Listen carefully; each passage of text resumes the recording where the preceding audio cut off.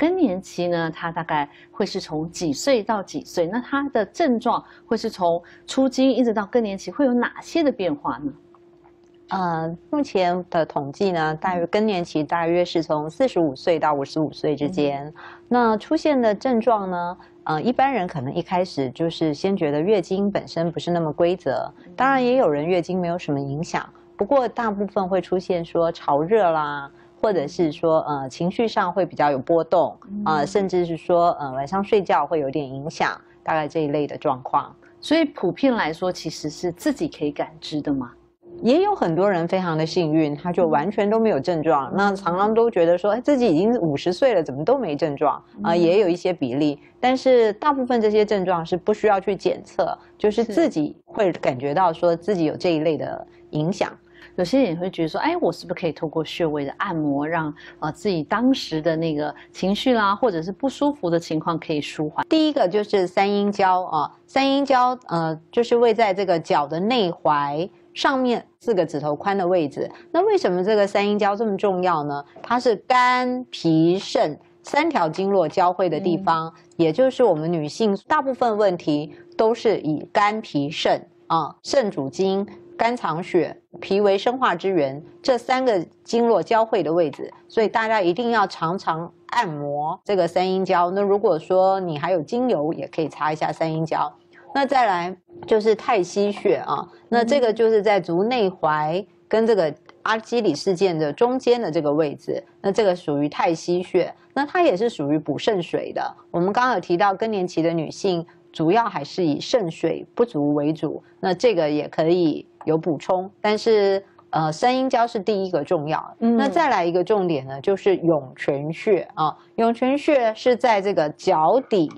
二三指中间到脚跟的这条连线的上三分之一，所以很多人去踩健康步道啊，也都会是用这个涌泉。那涌泉穴呢，它可以有稳定情绪、有降压的作用。那大部分我们就是说，它呃比较烦躁啦，或者是比较容易易怒。你多刺激涌泉，可以引火归元，引血下行，让身体比较平静。那您刚才谈到那个补水啊、滋阴啊，那这些可不可以从食物上去取得这样子的一个补水的来源呢？那我们当然最推崇的就是这个呃黄豆啊和呃乳制品。那黄豆它就是属于植物荷尔蒙的一个代表。那为什么我们东方人他在更年期的状况？出现的没有像西方人那么强烈或者这么明显。那根据统计呢，东方人食用这个黄豆制品的比例相对是比较高的，也至于说我们出现更年期的状况没有像西方人这么明显，嗯，不太是那种国家型的问题了。哦，那再来像这个芝麻呢，啊，它里面有很多的这个抗氧化物，还有很多的这个维他命 E 啊，甚至对眼睛啦啊，或者是以及皮肤都会有好的帮忙。不过，呃，这一类的是属于种子类的东西，它相对能量是比较高的，所以有一些人吃的是会比较容易口干舌燥哦，反而不适合，就对，嗯，就是不适合过量啦，嗯，啊，那像这个糙米啦，或是燕麦，它里面都是含有比较多的这个维他命 B 群啊，那这些都可以稳定情绪、稳定神经。那像香菇啦，还有黑木耳，它含的这个多糖体比较多啊，那也含有纤维质。对女性来说，也是一种血管的清道夫啊，也是一个有帮忙的。那像核桃呢，它本身是抑制醒脑，所以在更年期也很适合。不过种子类的食物，像核桃啦，这个芝麻，很多人就一吃就忘我了啊，那就不建议一下子吃太多。是。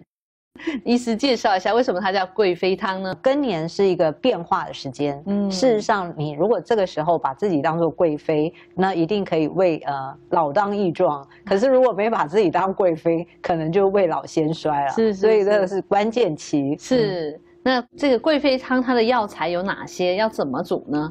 当归它本身有补血，那熟地呢，在我们中医就特别强调是补滋补肾阴。那它也有分熟地跟生地。啊，那另外红枣呢，它就是补脾气，脾为气血生化之源。那更年期虽然我们强调是肝肾，但是脾胃要顾好，你的肝肾机能才会联动的变好。啊，那另外就是枸杞子，它也有补肾气的作用啊。那川穹跟干姜，川穹有清利头目啊，那干姜有稳定脾胃的作用。那药材和食材呢，共同入锅啊，那加水三碗，药材和食材都被浸满以后，再用中火煮成一碗，煎煮出来的就是香喷喷的贵妃汤。好，那这个具有补血、调理身体机能、